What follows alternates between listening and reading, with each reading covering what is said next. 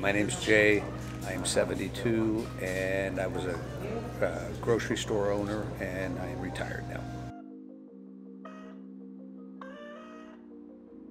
Well, I had a lot of physical problems. I have uh, two rotator cuff surgeries. I had a bad knee that had been taking all the cartilage out, and uh, so that knee was at 20, and that, and it wore out, and then it, that wore my hip out. So I've had my hip and knee replaced, and then I had five hip fractures in the meantime.